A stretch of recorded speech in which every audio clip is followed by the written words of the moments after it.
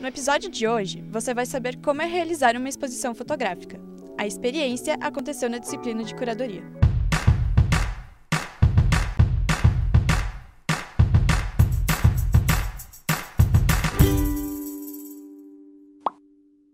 A disciplina de curadoria ela é uma, uma cadeira para tu entender todo o processo do que faz um curador, uh, para que serve um curador e também uh, todo o processo desde o início da seleção das obras de um artista até como vai ser exposto isso, como vai ser passado para o público que tu quer atingir. O objetivo era fazer uma exposição nossa produzida do início ao fim, desde o processo de curadoria ao processo artístico. A gente uh, entrou num debate junto com a turma de qual, qual seriam as opções de tema, foi bem democrático assim, cada um dava uma opinião.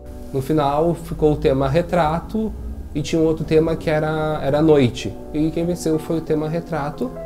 E dentro desse tema a gente começou a trabalhar o que é o retrato, que tipo de retrato e de que formas vamos fazer? O processo de produção, eh, eu escolhi os retratos urbanos, retratos na rua. Eh, minha principal referência foi uma fotógrafa de rua que chama Vivian Maier e eu me inspirei muito no trabalho dela para fazer os meus retratos. Eu acabei literalmente pegando minha câmera e indo para a rua e procurando pessoas e rostos que chamassem a minha atenção de alguma forma e foi bem bem legal assim é, no começo eu até achei que o pessoal não iria gostar muito da ideia, que a maioria das pessoas iriam dizer não, não quero.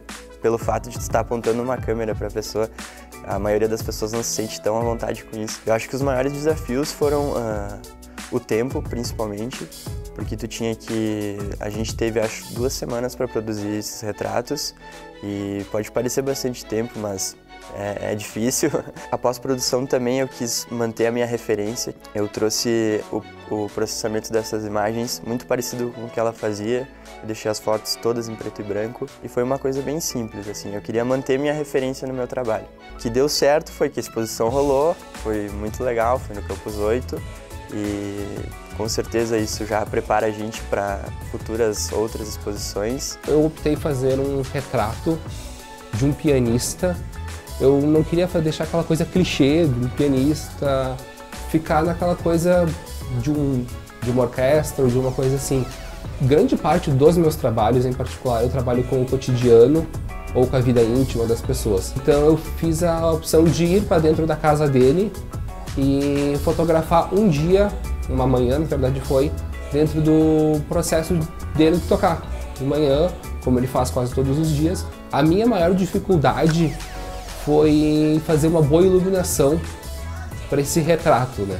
E porque a casa dele tinha algumas dificuldades, tipo, assim, tipo a parede laranja, tipo assim, que me dificultava algumas coisas. Aí tinha o cachorrinho passando, tinha, tinha várias coisas que, que davam essa dificuldade, mas também me facilitava porque eu estava dentro da casa dele e ele estava na rotina dele. O processo de conversão de imagem, preto branco, questão de trabalhando questão de Photoshop mesmo. Foi o que eu fiz até ter um, objetivo da foto que eu queria. Fazer a exposição foi algo diferente. Gente sempre trabalha em rede social, mas por ser uma questão mais artística, tu quer mostrar para pessoas que entendem aquilo lá. Então, dentro de uma exposição conjunta com um tema só, ficou bem legal. Eu, eu gostei bastante. É uma disciplina que tem que estar muito aberto com as tuas ideias, para as críticas que vão vir.